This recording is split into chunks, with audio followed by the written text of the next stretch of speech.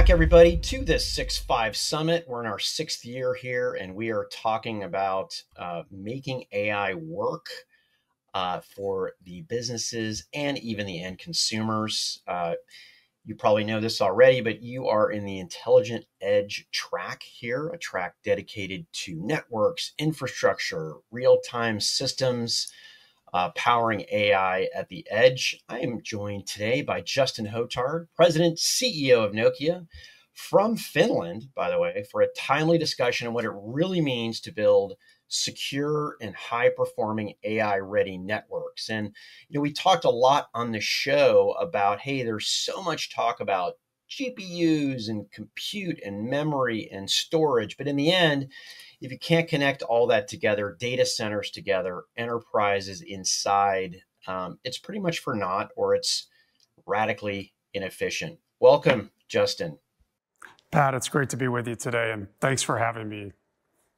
Definitely, definitely. Uh, I love the background. I love that you're broadcasting uh, from your from your headquarters here. But let's dive right in.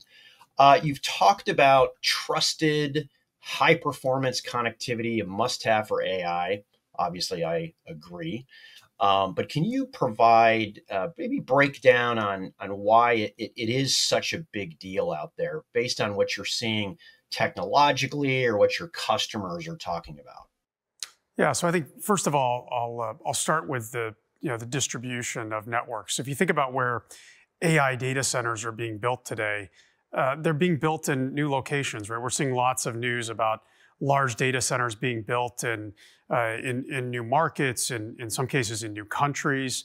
You know, there's discussions. The latest discussions coming out are around these concepts of AI embassies, and what this means is that our transport networks need to be modernized and scaled to support this demand because we're talking about incredible bandwidth. And in some cases, we're not actually keeping the data and the compute in the same locations. In some cases, the data and the compute are separate. Uh, and so even in those cases, latency starts to matter as well. And so as we think about this, metro, metro networks, long-range transport networks, all of these need to be upgraded. And that's where you know, we're seeing a huge uh, increase in optical uh, demand and our front-end routing demand, uh, great growth opportunities for, for Nokia. Then when you get inside the data center, density, right? We're talking about you know NVL72 if you're if you're talking about an NVIDIA system or 144 GPUs in a in a rack or two racks. You know, this goes back to some of my experience in supercomputing in the past, where we were putting optical networks in to uh, to manage all that data and handle all the density that we're building inside the data center. Well, that means new technologies, you know, pluggables, ICE-D, you know, new technologies for photonics inside the data center as well. And then the last one, which is coming, is going to be uh, AI and mobile networks, and that's going to drive uh, new new bandwidth requirements, new latency demands, and that will require innovation as well for our mobile networks. And that's where we see 5G advanced and ultimately 6G headed. Yeah, I'm glad you, uh, you know, a lot of the discussion has, has been about inside of the data center, and I'm glad you extended that. First of all, data center to data center, but also even even between different countries, uh, but also the industrial edge, which I believe uh, we will see some tremendous growth there uh, at, at, least in the next three years. It's hard to predict, but what I do know is that historically speaking, um, the, the compute goes to where the data is generated, and it's it's very efficient to be able to do that there as opposed to doing it all up uh, uh, in the cloud. But um, so let's boil this down to you know where should uh, companies be putting their money uh, to get the connectivity AI really needs. You know, you did break down the different areas, but are there any priority areas between, you know, all the way from the edge uh, to the hyperscaler data center and everything in between? Well, I, I, think they're all priorities, Pat. And I think you touched on an interesting one, which is the industrial edge. And this is where we're, you know, through a lot of our partners, we're already seeing investment. You know, one application is defense. I mean, obviously there's you know, some, some terrible, you know, conflicts and, and wars happening, but we're seeing that drive innovation in defense, autonomous, uh, you know, AI robotic driven drones that are, that are providing defense capabilities. That means that connectivity is, you know, now needs to be invested in in the battlefield, and that's driving innovation in terrestrial networks. But it's not just in defense, we're seeing it in public safety, And uh, we're also seeing it in certain industries where connectivity is really critical and it's driving autonomous or semi autonomous devices. And what's different about this is that if you think about connectivity in the past, there's been some expectation of, um, of exceptions, right? We'd say five nines, six nines, you know, we might say three nines in, a, in an enterprise, legacy enterprise environment. You can't have that now. You need something that's always connected, that's trusted, that's secure. And that means that companies need to upgrade those systems, even if they have existing connectivity. And, and as I touched on earlier, bandwidth, latency, these are really important priorities. Yeah, I love the edge. And, you know, a lot of questions that I get is, well, wait a second, wasn't the edge hot like seven or eight years ago? Industry 4.0, but we've done a lot of research on that, a lot of thinking.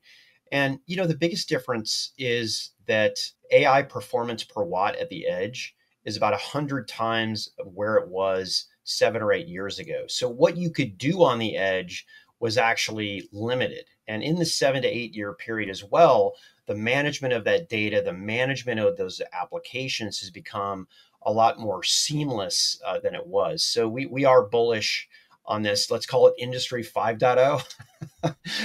oh, that's terrible. Uh, hey, but hey, I'd like to shift. You know, um, uh, Nokia has been the backbone for multiple telecoms for for decades. Uh, you've expanded the business to enterprise, but I did want to auger in uh, on on telcos here. Um, how how is AI going to impact the telco networks, and what does it mean to your customers? Yeah, I mean, I, I think first of all, you know, you look at the announcements that are just they've come out recently. You know, Google's announced a, uh, a new set of uh, of, of uh, smart glasses. That's going to create different bandwidth. If you think about AR and VR, or even just the current uh, AI, you know, Gen AI activity that's happening, the uplink becomes much more critical because I actually need to process the data and the video and the uplink as well as the downlink. So that means bandwidth changes. That means upgrades and, and, enhancements, building on the 5G investments that many of our customers have made in mobile. You know, and what's interesting about us is we're, you know, we're one of, uh, of only two major players in the Western world that, uh, that deliver the complete solution in this space. But it also means modernization to how they operate these networks. Because if, we, if you think about what, uh, what availability and trust mean, it also means enhancements in operations. We need to move to, to more autonomous operations. We need to have secure pipes. I mean, if I'm running a uh, public, you know, public safety application, for example, I need things like network slicing because I need a, a secure slice so that the video I might get as a first responder can be connected in real time back. And you can start to see how these applications cascade. And so it is going to drive a wave of investment. So if you, think also about the, uh, the, the bandwidth demand, these new services are going to create more bandwidth than backhaul. So that's driving investments in, in optical network upgrades. And, and one of the thing you're, one of the things you're seeing in the U.S. in particular, which I think is always a you know an, an early adopter in this space, is a lot of investment in broadband. And you're seeing obviously consolidation. There's been uh, a lot of news in that, you know, whether it's Verizon and Frontier, Charter and Cox, uh, AT&T buying some of Lumen's assets, you know, that all of those point towards a trend of enhanced broadband investment. Well, that broadband investment also creates new opportunities for services and applications because now that broadband network is getting extended and we're seeing higher and higher bandwidths for fiber to the edge, uh, which creates, you know, and obviously signals the demand that we're going to see for these uh, for these applications and services at Mobile World Congress this year, I was actually I was very optimistic uh, about uh, some of these these use cases, and I know um, some of the advanced services maybe took a little bit longer than people had expected, but seeing real world companies doing it, uh, I think the best example uh, are the first responders, uh, where they do need that incremental slice. But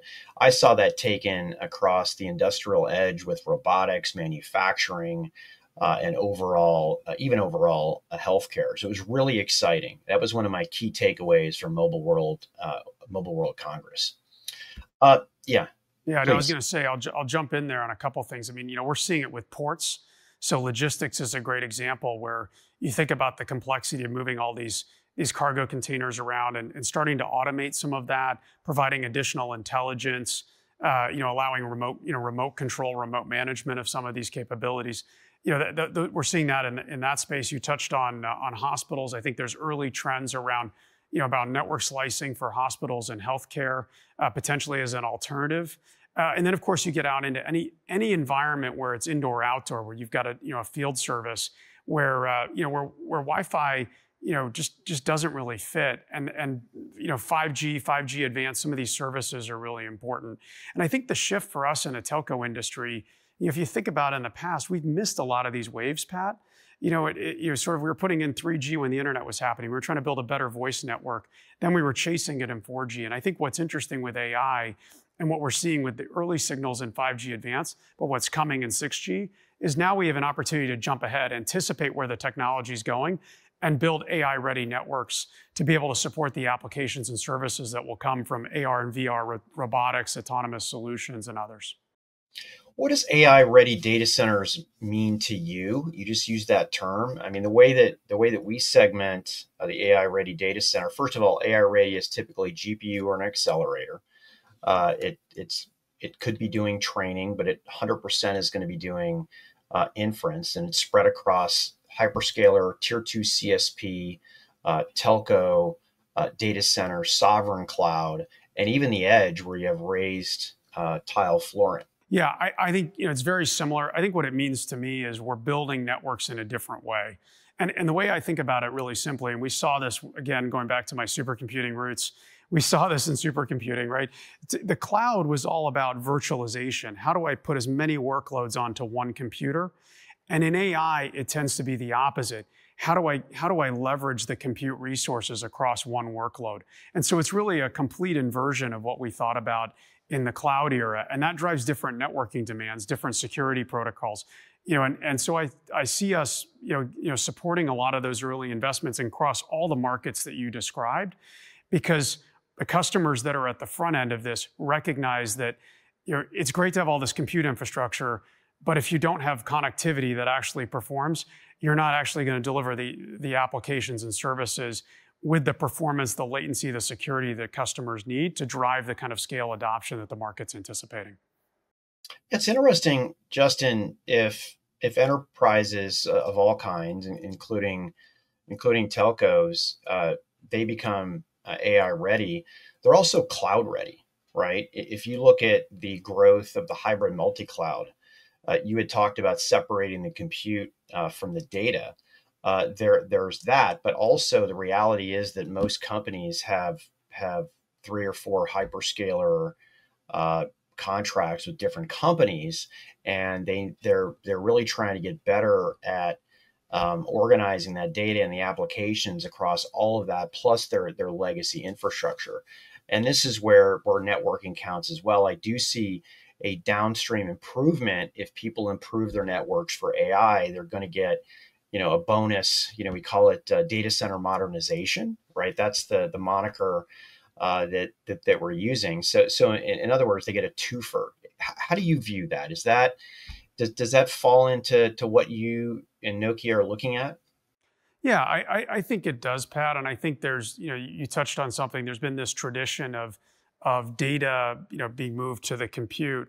The reality is that we're going through a cycle because of the pace the scale and the pace uh, of demand for compute, where you know power, you know power availability, density is going to mandate compute has to be in a certain location. That's driving a whole you know, modernization cycle on where how we bring the data to that compute again. And right now that means connectivity. But to your point, over time, you know that we could see those workloads bifurcate back into the you know to the enterprise or the edge and the, beauty of what we're you know we're saying now is with the investments in technology that we see again with optical technology, you know the enhancements to front end routing, the next generations of you know 400 gig, 800 gig, moving to you know 1.6 uh, terabit uh, you know connections. That's going to create flexibility so that your network is future ready, irrespective of how the uh, you know how the technology evolves. So uh, it's been a great conversation so far. Thank you, appreciate that uh, our viewers, thank you too. Uh, but I do I do want to wrap here, Justin, with uh, what I consider uh, two areas that are just fundamental uh, to AI, and that's security and and reliability. You know, we've seen this historically. I don't know, last 50 years in IT, which is the more things you can do, uh, and even the more disaggregated things are, the the higher the risk, higher the security risks, and and the reliability uh, could take a hit as well. How are how are you making sure that networks stay secure and reliable in this new age of, of AI? Yeah, this is one of our core vectors of investment because if you think about Nokia, what's unique about us is we're the only company in the Western world that plays across mobile, you know, fixed infrastructure and optical. And the reality with AI, and you said it, you said it brilliantly, Pat, right? Every new application or new technology innovation is a new is a new attack surface for uh, you know for bad actors. And let's just take the example of smart glasses. You know, now I've got something that's delivering AR and VR. I, I need to not just think about threats in the core application, but I need to think about threats in in intercepting uh, you know the actual device itself and potentially delivering uh, you know poor information to that you know that first responder, or it could be uh, you know it could be an autonomous drone. So there's a whole new surface of, uh, of potential attack points, and what we're seeing is is the end-to-end view and the cross-network view to be able to look at all of that and say, look, it's not just that we're you know we're, we're having a denial of service, but how do we ensure that uh, the model is the, the model and the inferencing engine that's delivering the insight is trusted, is authenticated, is the one that we expect. And so we have to think about all of that in our network design. And our teams are doing a lot of work around that to make sure that it's all trusted, it's verified.